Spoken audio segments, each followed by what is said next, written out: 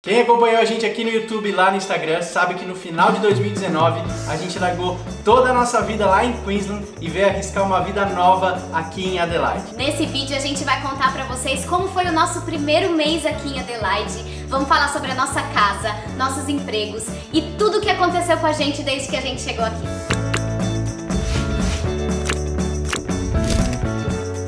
Fala meus queridos, estamos de volta com mais um vídeo. Finalmente a gente conseguiu sentar para gravar um vídeo aqui e ter esse bate-papo com vocês que há muito tempo a gente não fazia. Para quem não conhece a gente, eu sou o Lucas, essa é a Dani e a gente mora aqui na Austrália há quase 4 anos e é nesse canal que a gente conta um pouco da nossa vida aqui.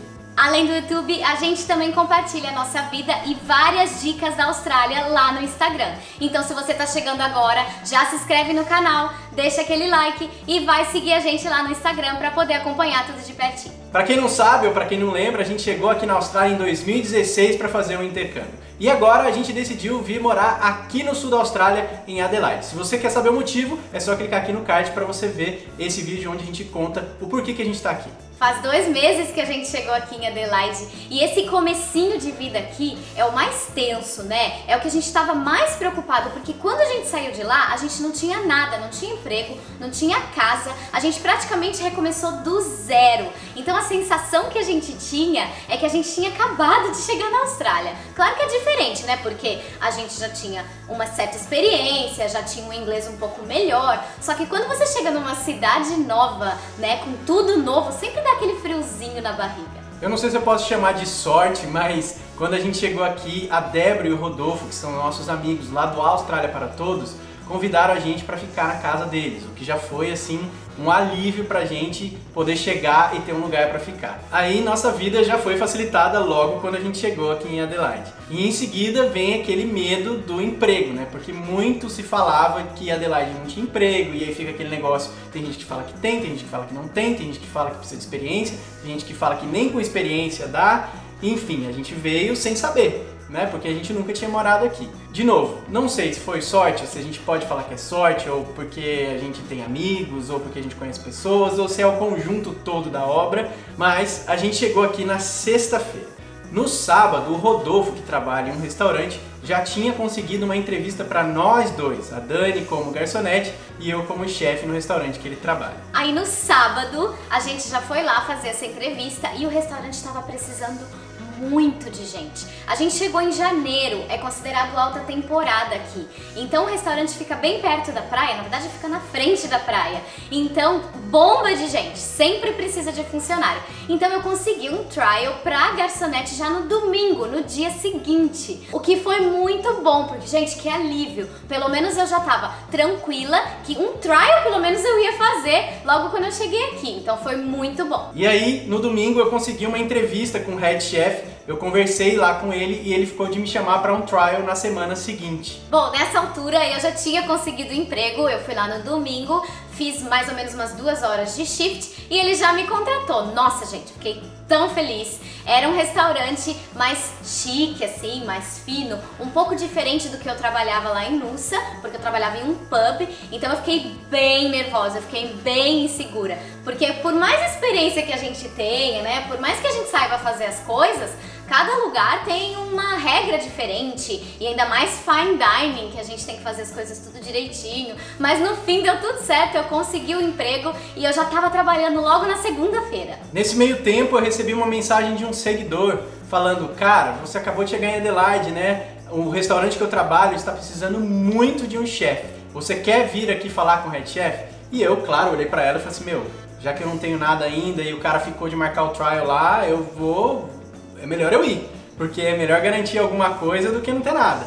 E aí, lá fui eu conversar com o head chef. Esse cara que mandou mensagem para mim hoje é meu amigo. Ele foi lá, a gente conversou junto, nós três. O cara botou a mão no fogo lá por mim e o head chef nem pediu para fazer trial, já me contratou na hora. E no dia seguinte eu já estava lá trabalhando. Então a gente está falando de terça-feira. Eu já comecei a trabalhar na segunda e na terça-feira ele já fez o primeiro shift. Quer dizer, gente, e assim, quando eu lembro, né, desse comecinho da gente aqui em Adelaide, a gente agradece tanto, a gente é tão grato por tudo que aconteceu, porque, claro, foram indicações, a gente conhecia pessoas, o seguidor indicou, mas a gente conseguiu, no fim das contas, a gente já estava empregado quatro dias depois que a gente chegou aqui. Exatamente. Então, tipo assim, aqueles medos todos que a gente teve lá antes de chegar, metade deles já tinha ido embora, porque emprego a gente já tinha. Então o resto a gente ia correr atrás. E esses são medos que poderiam ter freado a gente, porque por medo a gente poderia ter desistido de vir de repente. Então a gente sempre apoiou e vai continuar apoiando você que quer vir para a Austrália, mas tem medo ou quer mudar de vida e tem medo, que você enfrente esse medo, porque se você não enfrentar, a sua vida nunca vai mudar. Se você não enfrentar esses medos, você nunca vai sair do lugar. E é claro também que muita gente vai dizer: "Ah, mas foi sorte. Ah, mas foi alguém que indicou. Ah, mas você já tinha experiência". Óbvio que tudo isso conta tá galera? A gente nunca descartou que a nossa experiência, o nosso inglês aqui na Austrália facilitaria arrumar emprego, pessoas facilitam. O QI existe em qualquer lugar do mundo. Se você tiver uma pessoa que possa te indicar, vai facilitar a sua vida em tudo, em qualquer lugar do mundo. Então, conhecer pessoas é muito importante. Fazer uma rede de networking é muito importante e com certeza vai te ajudar. Principalmente se você está saindo aí do Brasil para vir aqui para a Austrália. Tem um monte de brasileiro aqui que pode te abraçar, que pode te dar a mão e pode te ajudar. O grande desafio pra gente acabou sendo conseguir a nossa casa, porque a gente sentiu uma grande diferença de Nusa e Adelaide. Vou explicar para vocês por quê. Gente alugou nossa casa lá em Nusa, a gente ia fazer as inspections nas casas, porque você tem que ver a casa para você poder aplicar para alugar essa casa. Quando a gente ia lá em Nusa, a gente via, sei lá, duas, três pessoas no máximo em cada casa que a gente vê. Quando a gente chegou aqui em Adelaide, a gente se deparou com 15, 20 pessoas para ver a mesma casa, a gente ficou super assustado. E não era assim, é, pessoas como nós, imigrantes, tinha muito australiano. A gente ficou bem preocupado quando a gente viu tudo isso. Pois é, e além disso, para você alugar uma casa aqui, eles pedem uma série de coisas. Entre elas vão pedir referências, histórico aqui na Austrália, e o principal talvez para eles seja o vínculo empregatício. O que significa isso? Eles querem ver os seus olerites eles querem ter certeza de que você está trabalhando, de qual é o vínculo que você tem com esse emprego, e isso tudo, apesar de a gente já estar tá trabalhando, atrapalhou um pouco porque a gente ainda nem tinha recebido o leite ainda. Então, as primeiras casas que a gente aplicou, a gente aplicou acho que para umas cinco casas, a gente foi negado, porque faltava o principal, a segurança para eles de que a gente recebia um salário e que a gente poderia pagar aquele aluguel semanalmente. Até que mais ou menos umas duas semanas, dez dias, duas semanas depois que a gente chegou aqui, a gente viu essa casa que a gente está morando agora, essa casinha linda, do jeito que a gente queria, no bairro que a gente queria, e ela foi aprovada, graças a Deus. E essa altura a gente já tinha olerite, já estava trabalhando há um tempinho, então foi um pouco mais fácil da gente conseguir a casinha do jeito que a gente queria. Óbvio que alguns pontos aí tem que ser levado em consideração, porque sim, a gente estava escolhendo casas, então talvez se a gente tivesse aplicado para qualquer uma, de qualquer jeito, talvez a gente tivesse conseguido uma casa antes, mas como a gente já estava aqui na Austrália, a gente já está em outro é, ponto né, da, da, da, escala, da vida da Austrália aqui, a gente deu uma escolhida e tal, então talvez por isso também tenha contribuído para ser mais difícil a gente conseguir a casa. Mas fique ciente, você aí que está no Brasil e quer chegar aqui já com uma casa só para você e sua família, talvez não seja tão fácil de você alugar logo de cara por causa desses vínculos e essas referências e de emprego e tudo mais. Então, venha em mente que nesse começo da sua vida aqui na Austrália, você talvez tenha que dividir uma casa. Foi o que a gente fez, é o que a maioria das pessoas aqui faz e que não tem problema nenhum. É, são etapas, assim, eu digo, que a gente vive aqui na Austrália e você tem que passar por todas elas, né? A menos que você seja aí um sortudão e já consiga pular algumas fases. E aí depois de tudo isso, eu continuei aplicando para empregos porque eu queria muito ser barista. Eu já tinha feito um curso lá em Queensland e eu queria entrar nessa área do café e eu fui chamada para trabalhar em uma cafeteria que estava abrindo como barista e eu fiquei super feliz porque eu consegui mais horas nesse emprego e era uma coisa que eu queria fazer desde quando eu saí lá de Nusa. Então eu acabei saindo do restaurante como garçonete e entrei nessa cafeteria para trabalhar como barista e é um emprego que eu tô até hoje. Eu devo lembrar para vocês, mais uma vez, né, não é a primeira que eu falo isso, que cada um vai ter uma experiência diferente aqui na Austrália. Essa foi a nossa experiência aqui em Adelaide, a gente também teve a nossa experiência lá em Nusa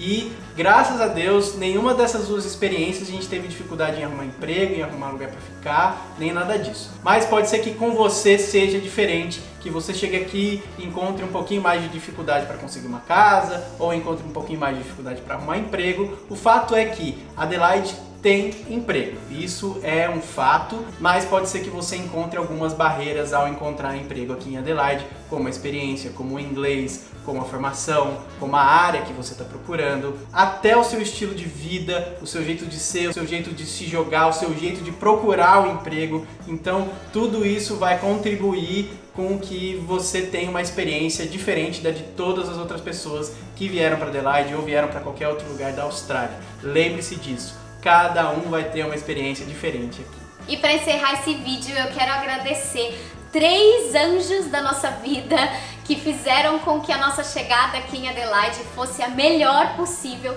Então eu quero agradecer a Débora e o Rodolfo do Austrália para Todos, que conseguiram um lugarzinho pra gente ficar assim que a gente chegou, a gente ficou lá na casa deles, que o Rodolfo conseguiu o trial pra mim, eu consegui o emprego logo de cara, a entrevista pra você, e o Leonardo, o seguidor, que agora virou amigo, que indicou o Lucas para esse trabalho, que ele tá adorando, que ele tá até hoje, e vai ser muito importante para essa nossa jornada rumo à residência. Então a gente quer agradecer de coração esses três anjos da nossa vida. E se a gente tá gostando de viver aqui em Adelaide, Fica aqui no canal para você saber, nós vamos gravar uma série de outros vídeos contando várias coisas, inclusive os próximos vídeos vão ser sobre emprego em Adelaide, vamos falar sobre o aluguel da nossa casa, quem sabe até rola um tour aqui, vamos ver. Mas fica ligado aqui, se você chegou agora, curte o canal, se inscreve aqui, deixe seu comentário, diz aí o que, que você achou, conta pra gente qual foi a sua experiência ou qual é a sua expectativa dessa experiência vivendo aqui na Austrália, que você vai viver aqui na Austrália. Enfim, conta aqui pra gente nos comentários. E não se esquece de seguir a gente em todas as redes sociais. Lá no Instagram a gente está mostrando o nosso dia a dia aqui em Adelaide. Tem até receita no Instagram agora, gente. Então vocês não podem perder. E até o próximo vídeo.